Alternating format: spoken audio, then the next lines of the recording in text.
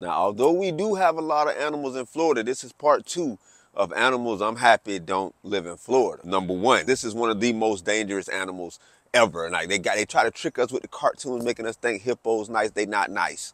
They not nice, and it's on sight whenever they see. Number two, now you you see all the chaos that the, the herpes monkeys causing, right? Now could you imagine if we had gorillas? And you know Floridians gonna try to make friends with them and try to create a gorilla. We don't need gorillas. That's all I know is that Floridians don't need gorillas because I feel like that's a bad combination. Last but not least, a moose. What do we need moose for in Florida? Like they can talk about our alligators and our crocodiles. I've never seen an alligator and a crocodile in mating season fighting over a mate, total two cars. All I know is I'm glad we don't have these in Florida. And for these reasons why I'm gonna keep all our crazy animals in Florida before I deal with any one of these. Let me know in the comments if y'all want a part three. And that's on Florida.